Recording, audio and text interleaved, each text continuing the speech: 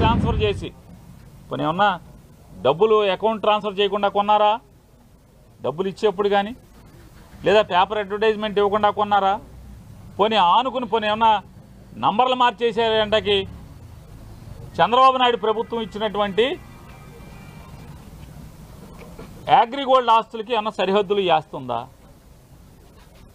అసలు సంబంధం లేదు అగ్రిగోల్డ్ ఆస్తులకి. జోగి రమేష్ గారు వాళ్ళు కొనుక్కున్న ఆస్తికి అసలు సంబంధమే లేదు కదా. లేని పరిస్థితుల్లో ఇవాళ సిఐడితో అదే ఆగస్టు రెండో తారీఖు ఒక కేసు కట్టించి ఏసీబీతో ఒక కేసు కట్టించి విచారణకు కూడా కనీసం పిలవకుండా.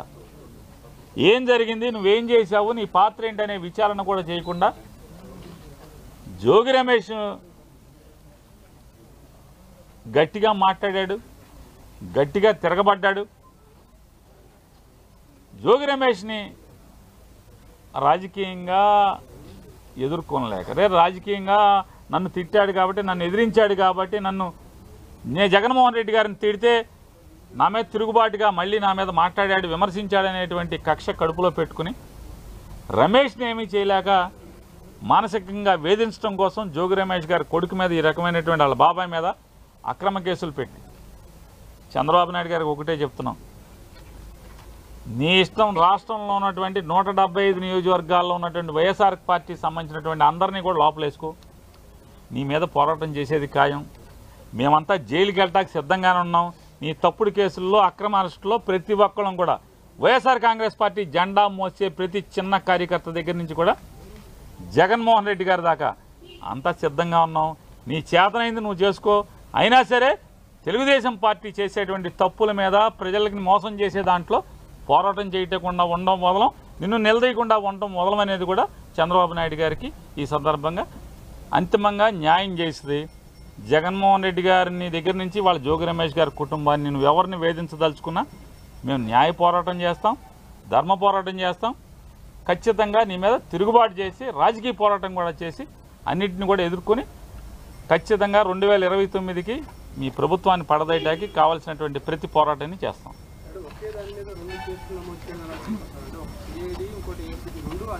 ఏమండి పద్ధతులు లేకుండా వినాయక్ గారు పద్ధతులు ఉంటే అనుకోవచ్చు.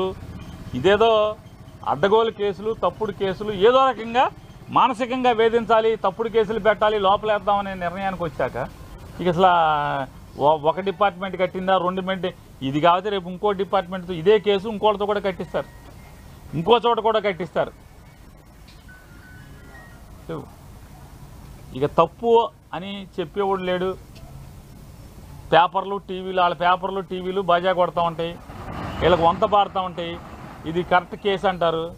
మామూలుగా ఇంతమందిని పొలం అమ్మిన వాళ్ళు ముద్దాయిగా లేరు. జోగి రమేష్కి పొలం అమ్మింది ఎవరు? పొలం అమ్మిన వాళ్ళు ముద్దాయిలుగా ఉన్నారా? వాళ్ళు ఎందుకు లేరు? ముద్దాయిలుగా రారు? అంటే అయితే సాక్ష్యంగా తీసుకురావాలి లేదా చంద్రబాబు నాయుడు గారు చుట్టాలన్న అవ్వాలి. రెండిట్లు ఏదో ఒకటి అవ్వాలి. వాళ్ళని బెదిరించి సాక్ష్యంగా అన్నా పెట్టాలి వీళ్ళని. అమ్మినోళ్ళు తింటో లేరు. కొనుక్కున్నోళ్ళు లేరు. జోగి రమేష్ ఒక్కడే జోగి రమేష్ గారి కుటుంబం ఒక్కళ్ళే ముద్దాయిలుగా ఉంటారు. ఆఫీసులో వాళ్ళు ఉంటారు.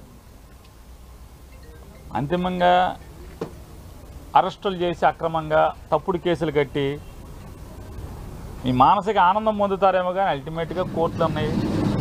ఖచ్చితంగా కోర్టులో ఫైట్ చేయటం న్యాయం న్యాయ న్యాయంగా మేము న్యాయాన్ని ఆశ్రయించి న్యాయస్థానాలను ఆశ్రయించి గెలవటం ఖాయం.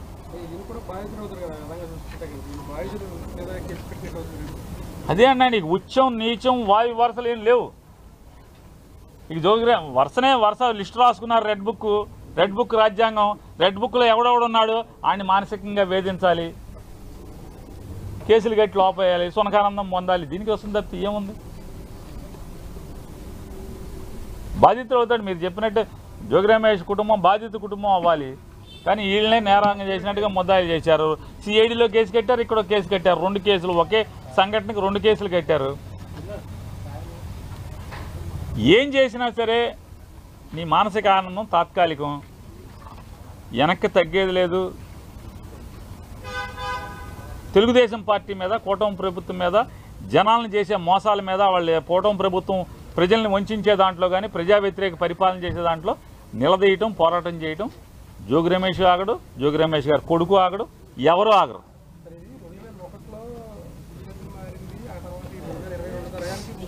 మరి సమయం అప్పట్లో దీనికంటే ముందు పద్నాలుగు పంతొమ్మిదిలో కూడా ఉన్నది ఈ గవర్నమెంట్ కూడా దీన్ని నిజంగా లీగల్గా మీరు అన్నట్టుగా అన్ని పేపర్ ప్రకటించుకున్నది తెలియదు అంటే ముందున్న ముగ్గురు నలుగురు ఎందుకు అరెస్ట్ చేయలేదు అసలు? సార్ ఇయే కాదండి అగ్రిగోల్డ్ ఆస్తులు బోళ్ళన్నీ ఉన్నాయి. చంద్రబాబు నాయుడు గారు మనుషులే కొనుక్కున్నారు అగ్రిగోల్డ్ ఆస్తులు.